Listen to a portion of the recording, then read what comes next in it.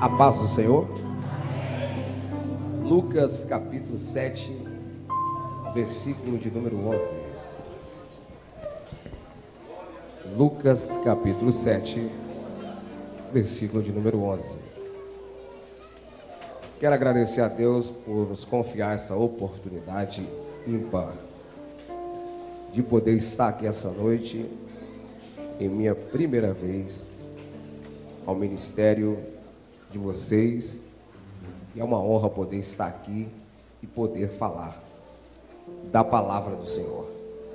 Que Deus em Cristo possa abençoar ao anjo da igreja que nos antecedeu, o pastor Samuel. Deus abençoe o Senhor, como aos seus obreiros. E aproveitar e cumprimentar algumas pessoas na tribuna, como de costume. Pastor Edson Costa, fiz o convite nessa tarde, se prontificou e veio. Presbítero César, já é de longas datas companheiro ministerial, e a quem nos fez o convite na pessoa do diácono Ivan. É pegar na mão. Deus abençoe poderosamente. 7 e 11 de Lucas.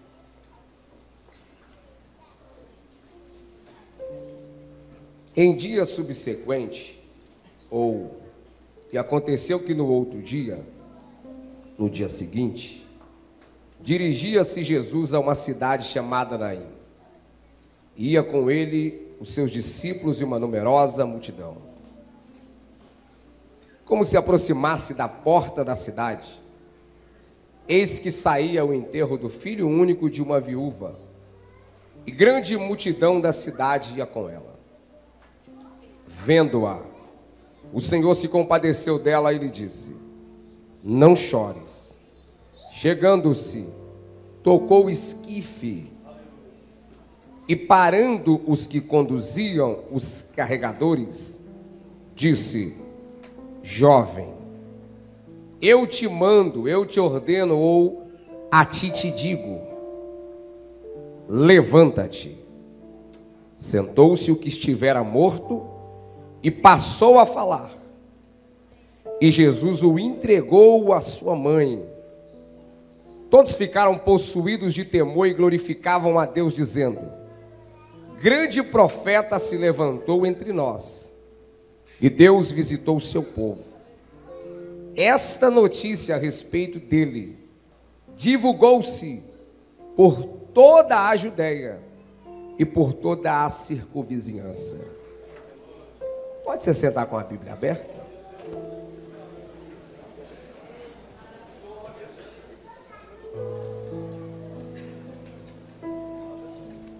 Esse capítulo de número 7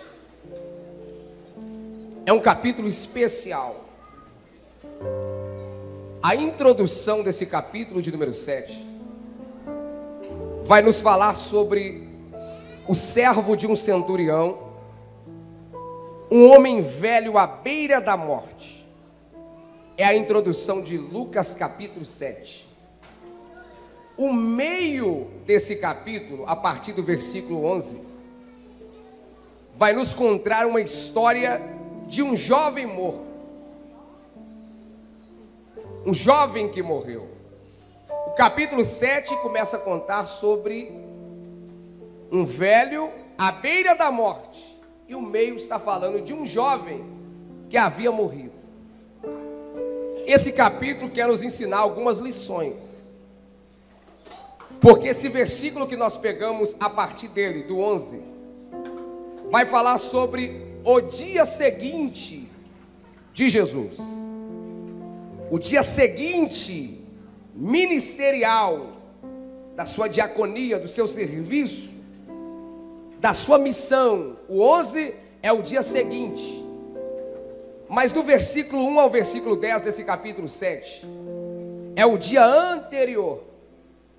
E o dia anterior, o dia que antecede o versículo 11, ele é em Cafarnaum. O dia posterior, o dia seguinte, é em Naim.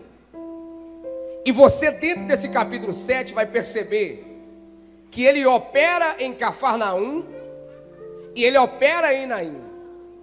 Ele opera no dia seguinte e no dia anterior. Aqui está falando sobre dois tempos de Jesus. passado, e o tempo presente ele está indo para Naim. No tempo presente em Naim, ele vai se manifestar. No tempo passado em Cafarnaum, ele se manifestou. E aí Paulo vai escrever aos Hebreus no capítulo 13, no versículo 8, que Jesus Cristo é o mesmo ontem, passado, o mesmo hoje, tempo presente, e será eternamente por vir. O máximo que o diabo concentra, seu máximo presente, porque ele usa o passado para te julgar no presente. Mas Jesus, conhecendo o seu passado, te perdoa no presente e ainda te prepara para o porvir. Porque o nosso dia de amanhã só Ele conhece. E é por isso que no Salmo de número 30, verso 5, quem conhece o dia seguinte pode falar de um dia anterior, porque o dia anterior é uma noite, e o choro pode durar uma noite toda, mas tem o dia seguinte. E no dia seguinte, a alegria vem ao amanhecer. E eu não sei há quantos dias você está na página negativa, mas aquele que foi no dia seguinte a Naim é o mesmo que está vindo se revelar nesse domingo a tua vida. Quem pode confirmar isso com glória a Deus? A introdução é em Cafarnaum. Em Cafarnaum, segundo Marcos capítulo 2, Jesus tinha uma casa. Em Cafarnaum, Jesus pregava a palavra e também operava milagres como operou dentro da sua própria casa. Em Cafarnaum, em sua própria cidade, onde ele tinha uma casa em Cafarnaum, ele era conhecido por sua palavra, por seus sinais e por suas maravilhas. Seu nome foi uma evidência em Cafarnaum. Diz a Bíblia no capítulo 7, a partir do versículo 1, que um dia ele conclui uma pregação. E eu acho isso interessante. Nada contra, mas esse sermão que eu vou pregar hoje, eu, vou, eu, preciso concluir ele. Eu não posso deixar uma Bíblia e falar, quem sabe no outro culto eu continuo. Não, porque tudo que Jesus começa, ele termina. É por isso que aquele que começou uma boa obra na sua vida, e ao seu ver essa obra não está acabada, ele me trouxe aqui para dizer que quando ele começa, ele é o alfa. Mas ele também termina, porque ele é o, ômega, ele é o princípio e o fim. Tudo aquilo que ele começou na sua casa, tudo aquilo que ele começou na sua família, que ao seu ver aceitou Jesus e desviou, aceitou Jesus e nunca mais veio no culto, começou. Agora confia, porque há um processo entre o começo e o término. O interessante é que, por mais que o vaso esteja imperfeito, o oleiro ainda está com a mão sobre esse vaso. Confia! E esse capítulo de número 7, a introdução dele vai falar sobre o servo de um centurião, que era um oficial romano responsável por uma centúria, que é 100 homens. E esse centurião em Cafarnaum residia. Prestava serviços para Roma. Esse centurião tinha um servo. Quando ele contrata o servo, ele contrata para exercer atividades em sua casa só que com o tempo ele passa de servo a criado, de criado e servo, ele passa para muito estimado, diz a Bíblia. E a palavra estimado significa no mínimo quatro coisas: amado, avaliado, querido e apreciado. Ele entra como servo, mas o tempo passa dentro daquela família, dentro daquela casa, e ele se torna para o centurião e sua família querido, amado, avaliado e apreciado. O tempo passa para o servo do centurião em Lucas 7, na introdução, e a Bíblia vai dizer que ele fica enfermo, acamado, à beira da morte, em Cafarnaum.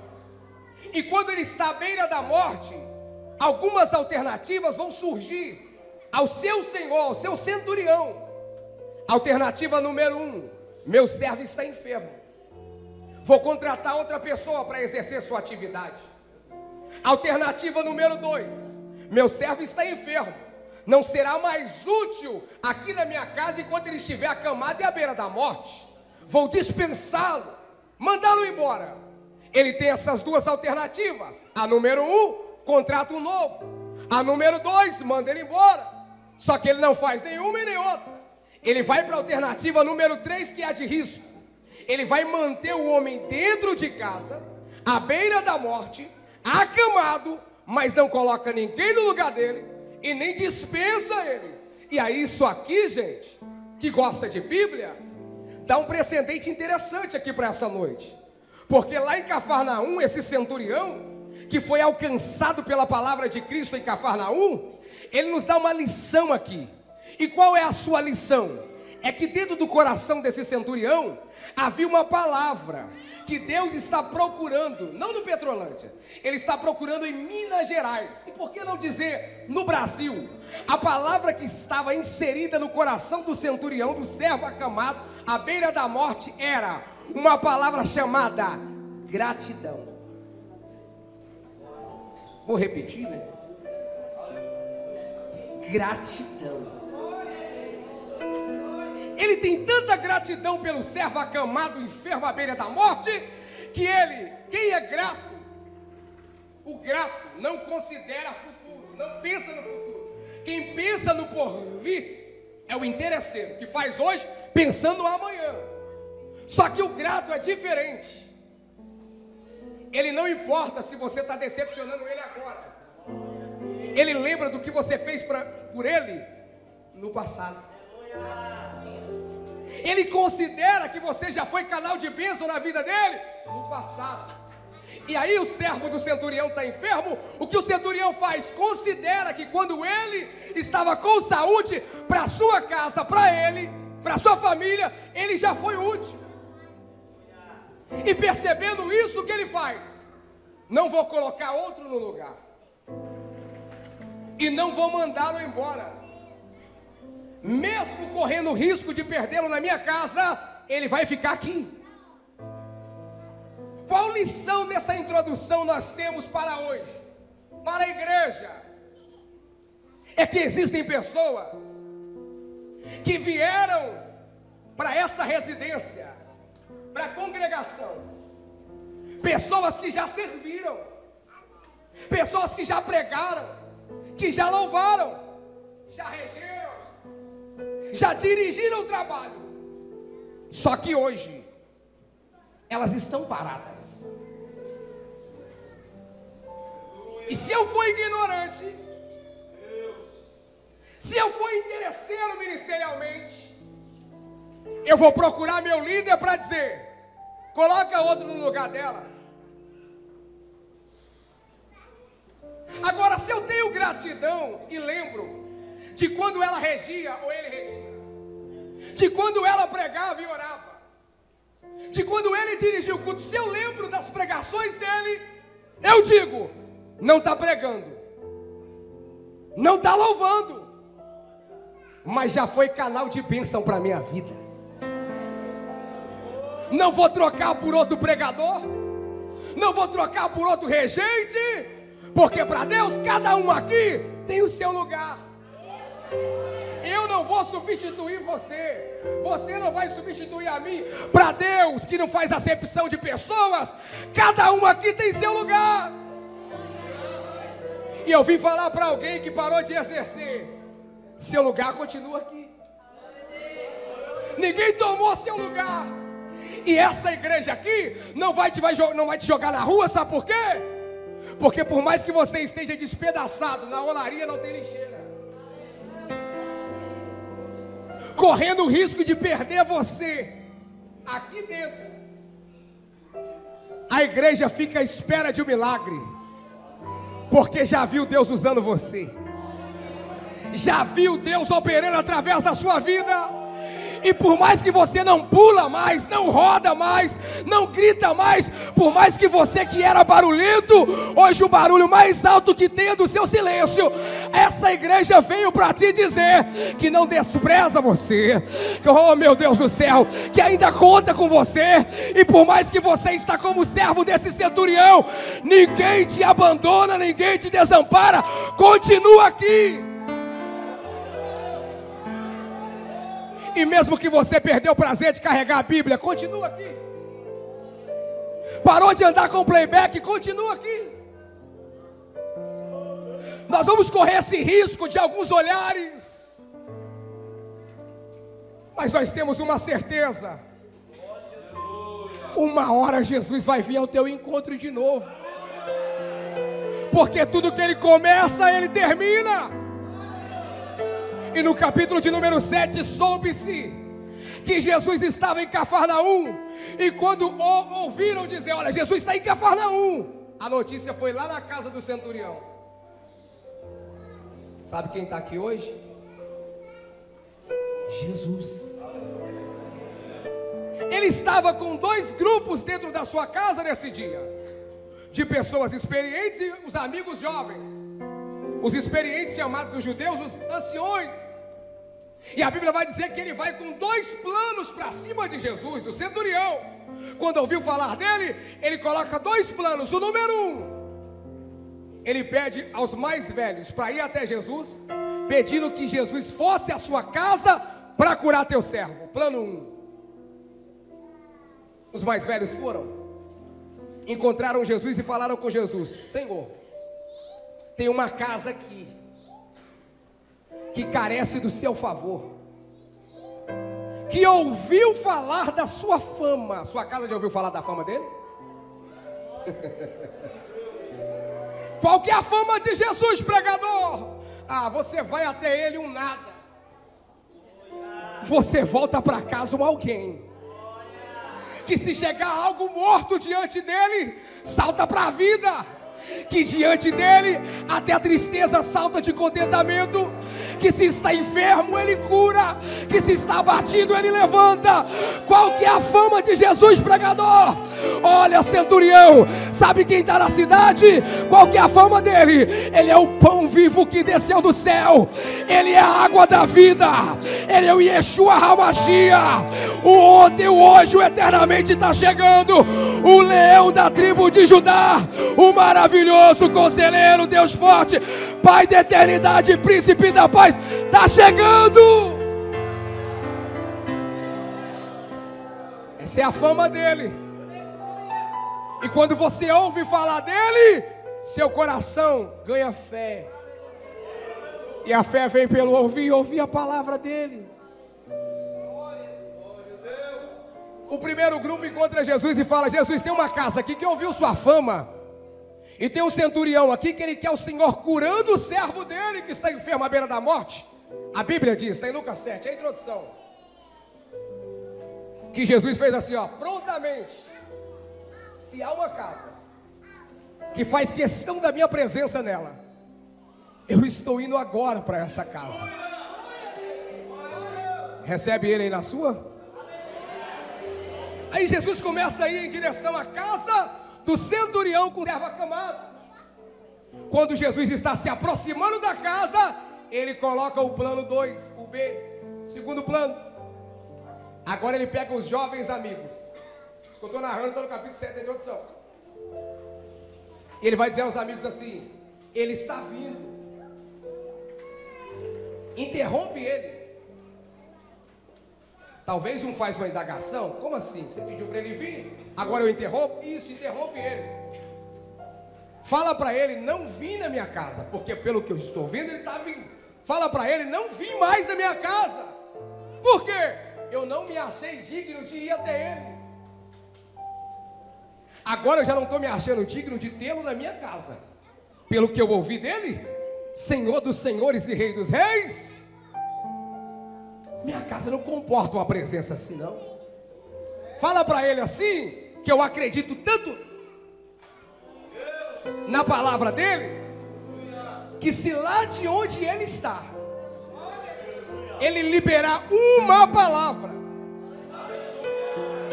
me ajuda a pregar quantas palavras que eu disse? E às vezes eu preciso ficar aqui até nove horas gastando palavras. Mas para quem crê, nem precisa ser uma frase, nem precisa ser uma folha, uma.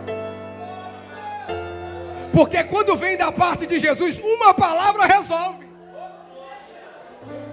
E ele vai dizer assim para os amigos: interrompe e fala com ele que eu creio tanto no que eu ouvi dele, que uma palavra dele, de lá, tira a enfermidade daqui. Espera aí, ele está do lado de fora, ele está querendo dizer: eu creio no operar da palavra de uma forma tão poderosa, que a palavra do lado de fora pode trabalhar do lado de dentro. E eles foram.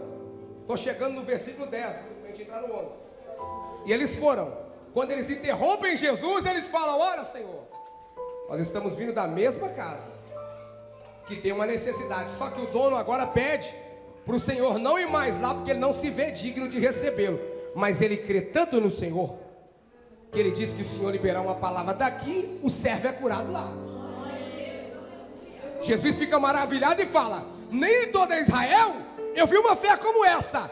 Voltem, olha isso que eu vou falar.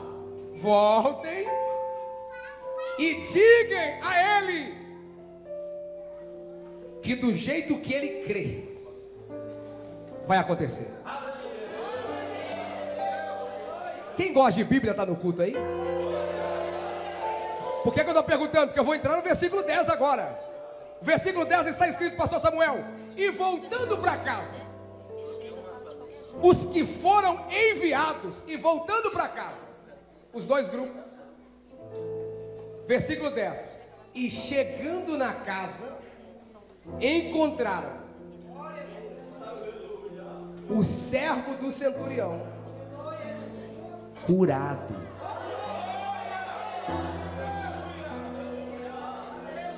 Será que eu vou precisar melhorar para você dar glória? Quando ele sai o primeiro grupo, o rapaz está enfermo. Quando sai o segundo grupo, o rapaz está enfermo. E quando eles voltam, o rapaz está curado. Pergunta que pode cair até na escola bíblica. Lá vai. Até em de doutrina pode cair essa pergunta. O rapaz foi curado na ida ou na volta? Ida ou volta? Na volta. Ida ou volta? Me ajuda aí, ida ou volta?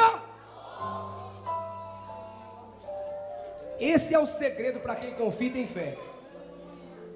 Porque o máximo que o teu vizinho e que o diabo viu foi você vindo ao culto. Só que o segredo de quem adora e quem tem fé não é quando você vem.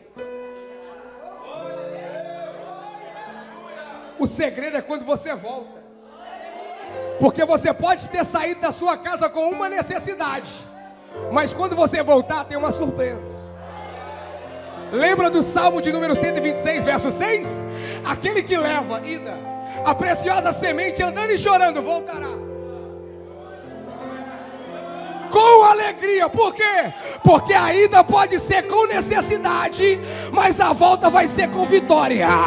Agora eu posso profetizar, meu Deus. A tua chegada aqui pode ser de tragédia, mas a tua volta vai ser de vitória. Nós viemos profetizar em Cristo que a tua volta para casa vai ser melhor, vai ser melhor, vai ser melhor.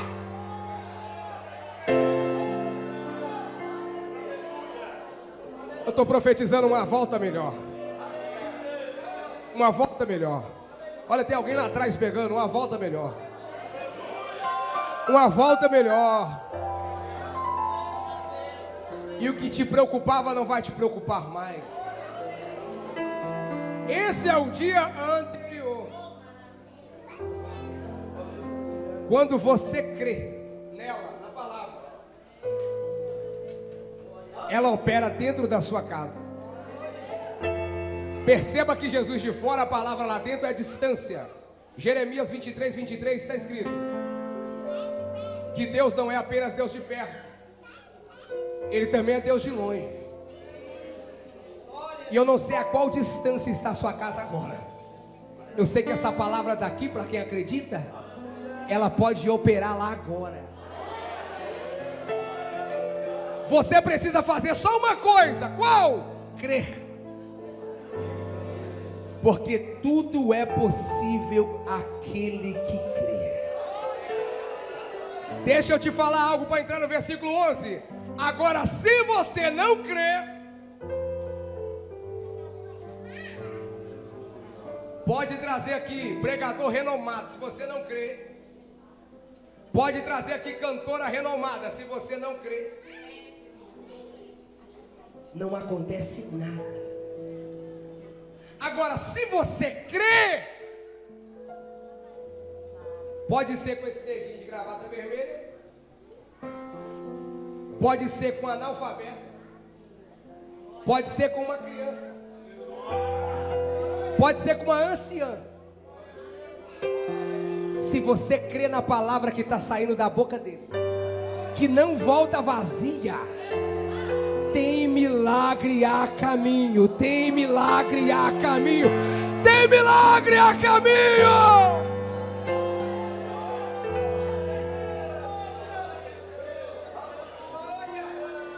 Até para Deus salvar tem que crer. Porque a salvação é uma promessa, Atos 16, 31. Será salvo tu e a tua casa, é a promessa. Mas a condição é crer no Senhor Jesus. E será salvo tu. Tu quem? O que crê. E quando você crê ser salvo, Deus vai começar a alcançar também sua família. Versículo 11. E no dia seguinte dessa história que eu estou te contando, Jesus foi a uma cidade chamada Naim. O nome Naim significa lugar do consolo, aldeia da consolação, lugar do consolo. No dia seguinte, Jesus foi ao lugar do consolo, a Naim. E quando você entra nessa história bíblica, aqui da Bíblia, de Naim, você percebe que lá o consolo não era só na placa indicativa da cidade. Lá dentro você percebe que lá realmente é um lugar de consolo. Essa mensagem vai confirmar um pouco o que o pastor havia dito aqui, sem ele saber. Perceba, Jesus foi a uma cidade chamada Naim, e quando ele está indo para essa cidade, que não era perto, era longe de Cafarnaum, quase 50 quilômetros, quando ele está chegando na porta da cidade, de um dia exaustivo, a Bíblia vai mostrar que ele está indo, os discípulos estão indo, e uma multidão também está indo com Jesus. Redobra a atenção, por gentileza. Olha, Jesus, os discípulos e uma grande multidão. Como que eu, na minha simplicidade de homem, ser humano, queria ler assim? E foi Jesus e uma grande multidão. Ou, e foi Jesus e os discípulos. Não, o texto está separando coisas aqui. Jesus, os discípulos e a multidão. Por que está separando? Porque discípulo é uma coisa e multidão é outra. A multidão segue Jesus para receber. O discípulo também quer, porque Pedro, discípulo, recebeu a cura da sogra. Só que o discípulo, ele não quer só receber, ele quer receber e aprender. A multidão segue a ele por aquilo que ele faz. O discípulo segue por aquilo que ele é. A multidão segue a ele porque ele pode abrir a porta. O discípulo segue ele porque ele é o dono da porta. A multidão segue porque ele pode fazer o milagre, mas o discípulo sabe que ele é o dono do milagre. Tem discípulo aqui nessa igreja? Me ajuda a louvar aí, que eu não sou do louvor, viu? Mas lá vai. Depois que eu descobri na Bíblia que pregador pode louvar, agora eu tô Porque alguém, alguém tem que desligar a tomada dos levitas do Brasil, viu? Porque eles acham o louvor dos levitas. De onde eles tiraram isso? Levita, vem de Levi. Levi, aquele que atrai, atrai o que? Atrai a presença. E depois que atrai, desaparece. O levita não aparece, ele desaparece. E outra, o louvor não é do levita. Vou até ajudar um tanto de gente aqui vai procurar agora a igreja e começar a querer cantar. Você também pode. Porque o salmista falou assim: olha, todo ser que respira, me ajuda aí. Não, parece que ele falou: todo levita que respira, todo que fez aula de canto que respira, Todos que têm técnica vocal que Não. Todo ser que Aí falou, oh, eu também posso. Todo ser que respira, louvar ao Senhor. Aí eu encontrei lá em Atos 16 dois seres respirando, dois pregadores, Paulo e Silas, cantando. Olha, nós pregadores podemos também. Com essa voz taquara rachada, como diz Feliciano. Então eu posso, pela misericórdia de Deus. Então eu vou louvar aqui, vocês me ajudem então. Porque eu vou louvar a canção, até porque Deus não está procurando o levita, procurando o adorador. Eu vou louvar a canção oficial do discípulo. E depois eu vou louvar a canção da multidão. A oficial dos discípulos, vocês sabem, vocês me ajudam. Vamos lá? Se Deus fizer, se não fizer, se a porta abrir, mas se fechar, se a doença vier, se curado eu for, se tudo der certo, mas se não der, é o discípulo, é o discípulo. Se Deus fizer, vai. Se não fizer, se a porta abrir, mas se fechar, se a doença vier, se curado eu for, se tudo der certo, mas se não der, tem discípulo na casa?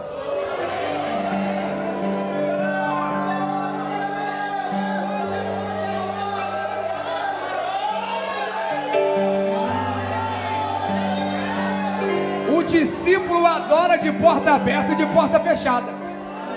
O discípulo adora com saúde e quando o médico diz é câncer. O discípulo adora quando tudo está dando certo, mas quando é dias de adversidade, continua adorando. Hino da multidão agora.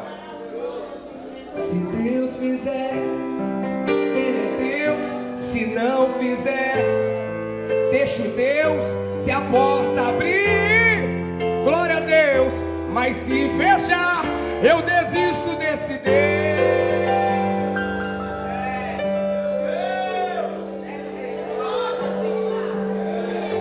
Está rindo porque é verdade. E em contrapartida, o discípulo está assim: levanta a mão. Eu não adoro pelo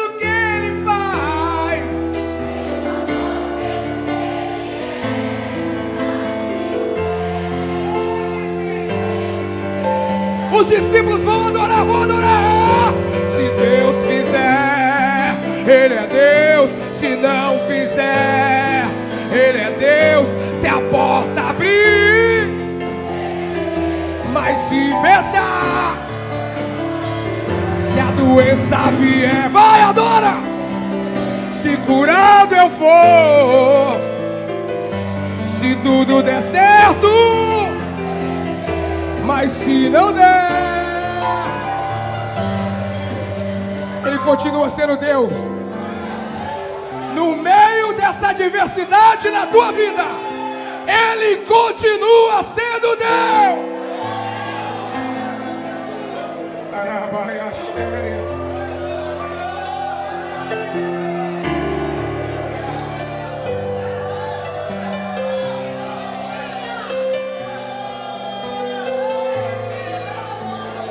O discípulo ele vai igual a Jó, vai perdendo, mas vai adorando.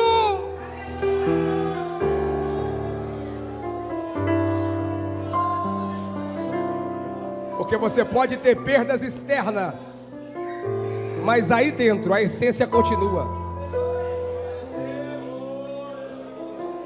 Eles param na porta, Jesus, discípulos e multidão na porta. Costume da época, parar na porta, os juízes, para julgar pessoas. A mulher que está vindo viúva foi julgada nessa porta que Jesus parou.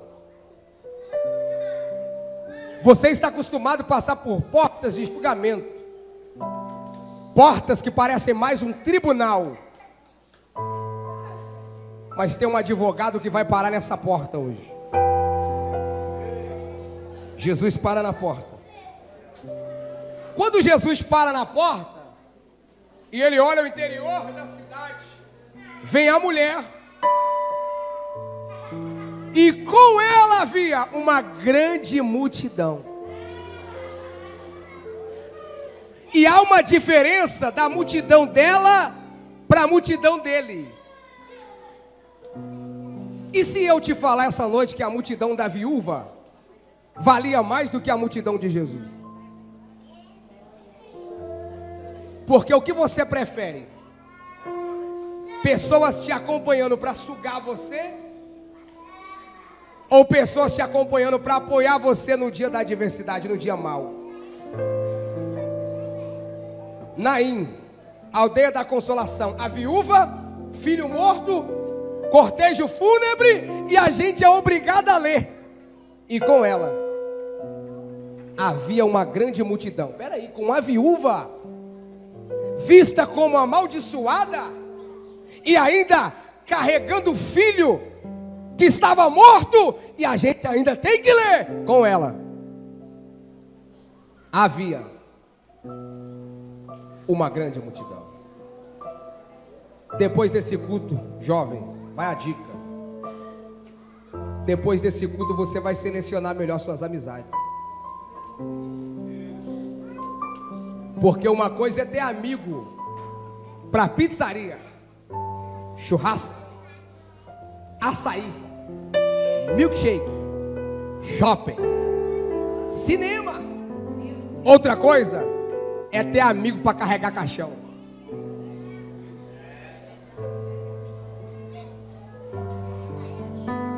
Cartão passando. Multidão de Cafarnaum. E quando é dia mau, é nesse dia que manifesta seus verdadeiros amigos. Eu não empolgo com pessoas.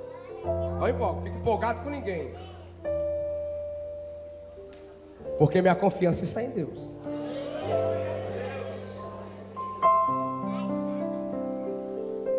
Que Deus levante pessoas para estar com você. no dia do choro. Você já tem uma lista de amigos no Facebook, no Instagram, no WhatsApp. Você já tem os seus grupos para comemoração. Culto de ação de graças. Mas e quando o contexto é carregar um caixão? De um jovem morto. E quando o contexto é ter que pregar que um jovem morreu que um jovem que pregava aqui não prega mais, louvava aqui não louva mais. É esse contexto que estamos. Quem vai ajudar a carregar? Porque uma coisa é a gente ser companheiro de vivo. Outra coisa é demonstrar fé e respeito no dia da morte. Viu como a mensagem ficou séria?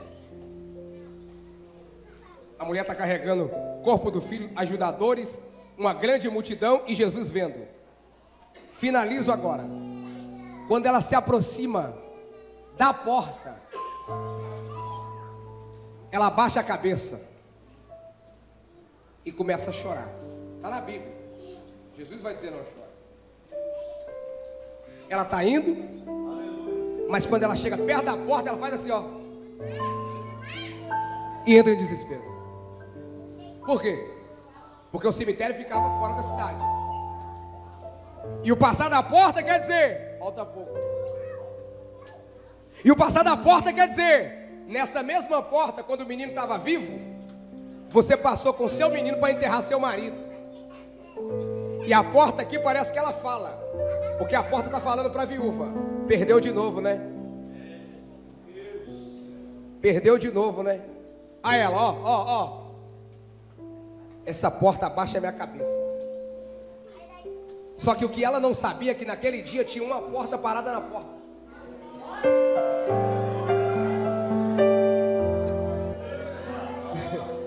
Porque Jesus disse que Ele é a porta.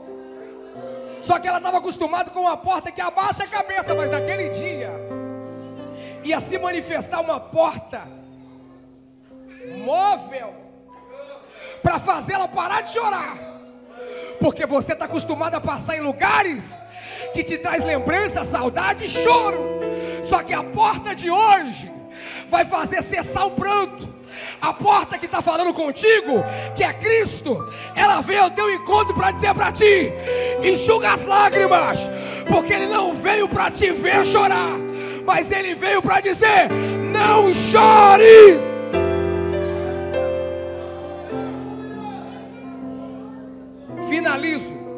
A mulher está de cabeça baixa chorando. E Jesus está aqui, ó. Versículo 13 de Lucas 7. E vendo-a, Jesus, e vendo-a, quem está vendo ela? Quem está vendo ela? Olha para mim, ela não está vendo ele, mas ele está vendo ela. Eu estou pregando para uma mãe aqui agora, mãe. Você não tem visto ele, mas ele está vendo você chorar. Ele está vendo você clamar. Ele está vendo você em desespero, pensando: perdi de novo.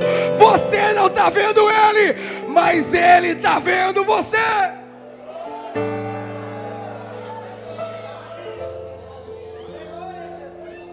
Deixa eu te fazer uma pergunta. Responde para si, né? Para si. Pergunta.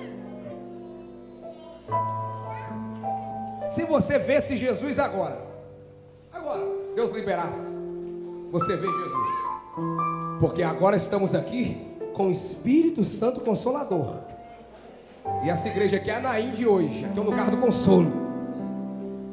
Mas se Deus permitisse, você vê Jesus agora, o que mudaria em você? Pelo que eu pesquisei, nada. E por mais que a gente cante essa canção, só quero, só quero ver você, só quero, só quero ver você. E aí, você quer ver? Beleza. Essa canção só vai fazer sentido no céu.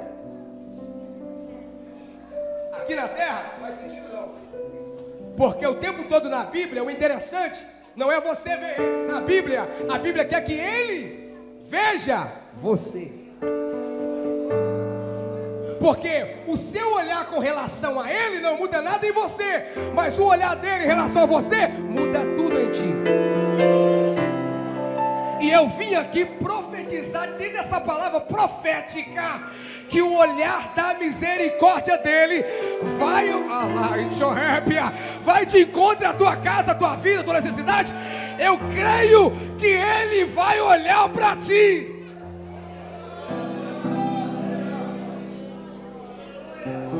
Eu preciso encerrar que a hora já foi. Ele está olhando para ela.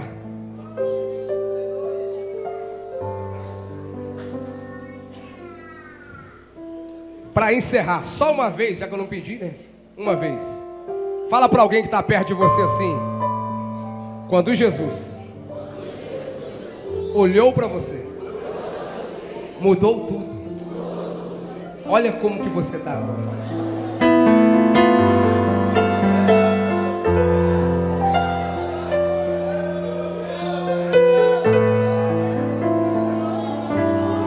Pode descer aqui.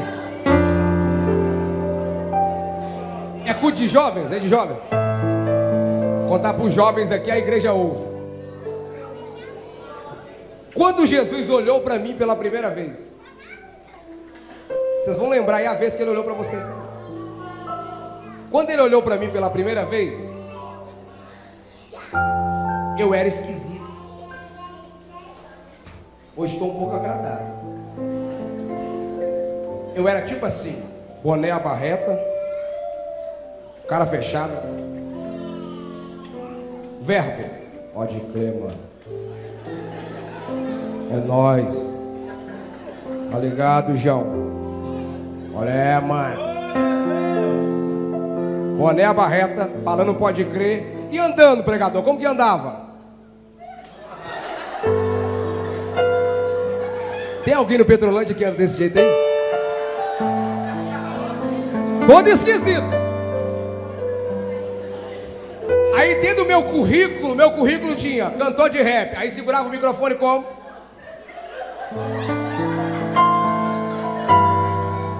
Calça larga, cordão de prata, camisa do facção central. É nós. Dia de sexta-feira, 30 traficantes, região, Jardim Teresópolis, Betinho. Dia de sexta-feira, 30 traficantes ia no culto. Para quê? Receber a revelação do livramento. E eu estava lá no meio. Pastor pregava, Jesus está aqui. E eu estava lá, armado com os traficantes. E a gente ficava assim: cadê, cadê? Um tanto de culto, nós entramos lá querendo ver ele. E quando eles falavam, tem um varão passando aqui. Eu ficava, cadê, cadê, cadê?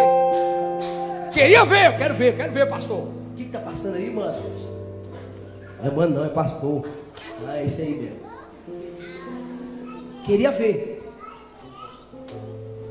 Eu não consegui ver ele. Aleluia.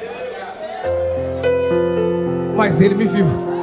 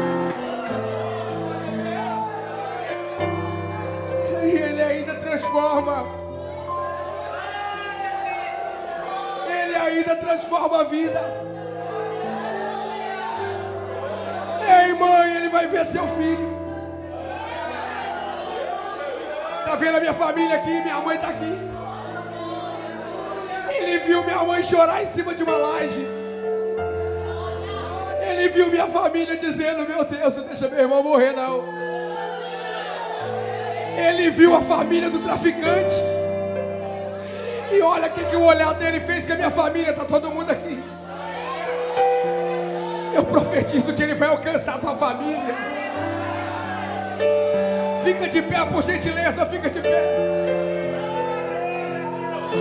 Urabaia Súria. Ah, meu Deus. Dá para repetir aquela canção do renovo? Dá para repetir a do renovo? Oh meu Deus, eu não quero milagre. O que nós precisamos é de um renovo.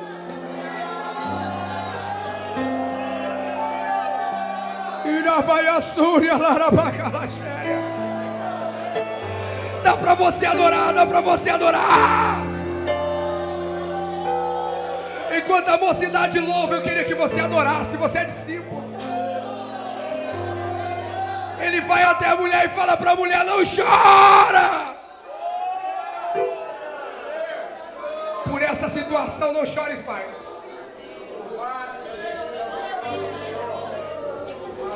Vou encerrar agora, gente. Eles vão louvar para fechar.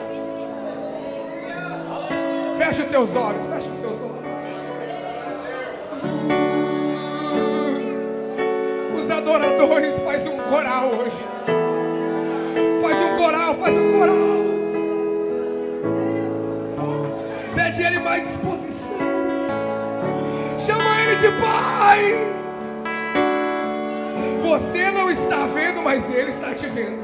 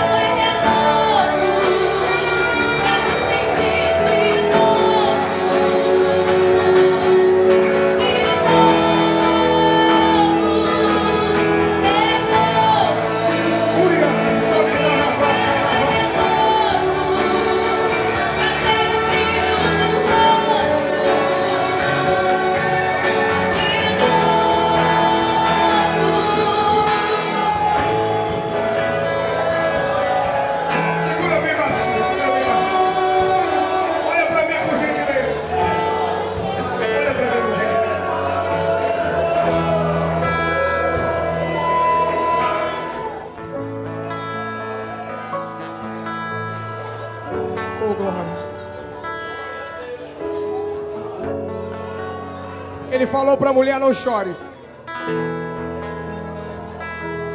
A lição de Naim é que ele quer falar, ele quer tocar, ele quer falar, ele quer tocar. Ele já falou, ele pode tocar. E tocando o esquife, e tocando o esquife, é o caixão que fosse no dia de hoje, fez com que os carregadores parassem e disse para o jovem o que eu vim falar para esses jovens aqui: levanta-te, levanta-te. Olha para mim, eu tenho que encerrar, a hora já foi. Olha para mim. Levanta-te, eu falo com quem está vivo. O rapaz estava vivo ou morto? Não é um cortejo fúnebre, vivo ou morto? Só que Jesus não falou ressuscita, ele falou levanta-te. Levanta-te, eu falo para quem está vivo. Porque Jesus falou levanta-te? Porque na hora que Jesus tocou o esquife, a morte saiu.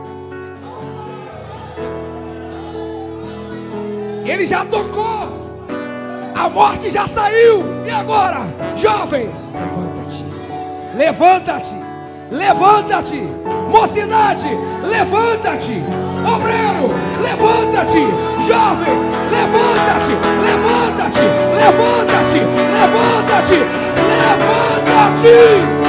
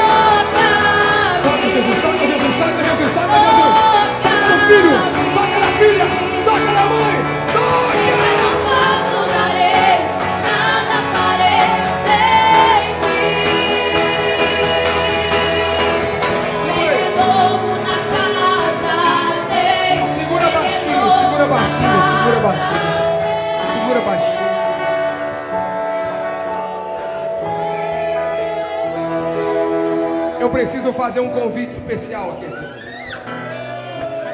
Com você ainda de pé.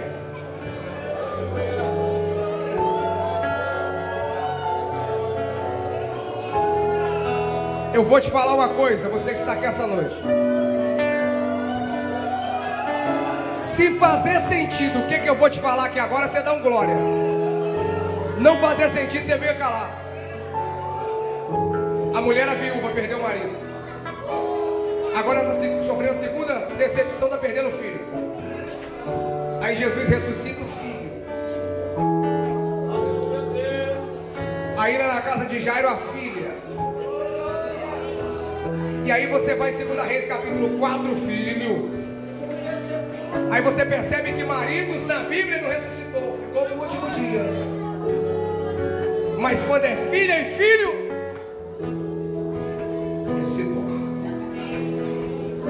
No Salmo 127, o salmista fala: Os teus filhos são heranças do Senhor. E quando é do Senhor, nasce, cresce, vira jovem, e se morrer e for do Senhor, vai ter até velório, vai abrir até a cova, mas não vai ter tempo. Porque hoje ele vem para avivar. Ele vem para ressuscitar. Ele vem para cancelar o enterro de jovens do Petrolândia. Ele vem para cancelar enterro de jovens em contagem. Ele vem para cancelar enterro de jovens em Betim. Hoje ele quer cancelar enterro erros espirituais e físicos. Se tem alguém aqui essa noite, bem baixinho, olha para mim. Eu quero fazer um convite aqui. Pastor, eu estou aqui. Afastado dos caminhos do Senhor, o que eu faço? Ele já te viu. E se você quer reconciliar, voltar para os caminhos do Senhor, eu queria te convidar aqui à frente. O Deus que olhou para um traficante, que andou de ré, bandido e fez dele um pastor, é o Deus que vai mudar toda a tua história. E se você está me ouvindo e quer entregar sua vida para Jesus, ou voltar para os caminhos do Senhor nesse culto, eu queria te convidar aqui à frente para orarmos por você, porque a volta vai ser melhor. Cadê a primeira pessoa? Saia do seu lugar. Cadê a primeira pessoa? Saia do seu lugar. Pastor, quero reconciliar, quero voltar para os caminhos do Senhor. Parei, quero voltar. Estou na casa ainda, é sua noite. É sua noite quer aceitar Cristo como Senhor e Salvador, vem aqui na frente. Eu preciso orar por você. Cadê a primeira pessoa? Se você, soldado ferido, está nesse culto e quer reconciliar, é o culto que ele escolheu para sarar essa enfermidade sua. Cadê você? Temos alguém? A nossa esquerda e direita. Ele está falando aí ao teu coração. E se você quer reconciliar, dá esse passo importante tu sair do seu lugar e vir aqui à frente. Está vindo uma primeira pessoa. A igreja vai glorificando, tem mais almas. Deixa o Espírito te convencer agora onde você está, deixa o Espírito te convencer. Cadê a segunda pessoa? Pastor, eu quero voltar para a presença de Deus. Eu quero reconciliar essa noite. Cadê você? Cadê a segunda pessoa? A hora avançou ali, pelo amor de Deus. Se você quer, aceita esse apelo. É o convite para o céu. Pastor, estou parado. Eu quero voltar para a presença de Deus.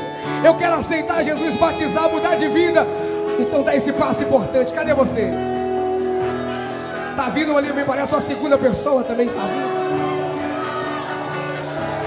Tem mais pessoas, deixa o Espírito te soltar aí, vai.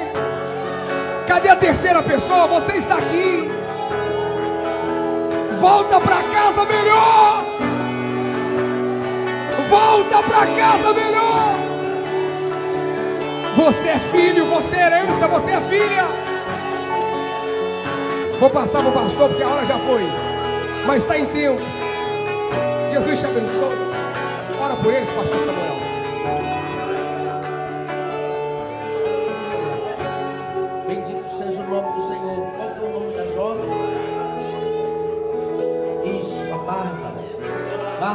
Você está tomando a melhor das decisões da sua vida hoje. Creia nisso. Glória a Jesus. Glória a Jesus. Creia. Hoje você tem segurança para onde você está indo. Glória a Jesus. A partir de hoje você tem objetivo de vida, que é servir e agradar o Rei dos Reis. Aleluia. O Washington também está se reconciliando com o Senhor. Estenda sua mão para cá.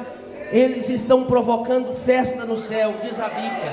Glória a Jesus. Senhor, mais uma vez, nós oramos, Pai, nesse momento, Senhor, nós estamos alegres e felizes e festejando aqui também pela vida da Bárbara, Senhor, e eu tenho certeza que os anjos festejam na glória também.